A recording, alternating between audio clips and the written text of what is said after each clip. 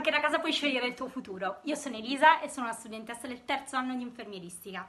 Ho scelto questo percorso di studi perché mi darà la possibilità di essere un professionista sempre in prima linea nell'assistenza del prossimo.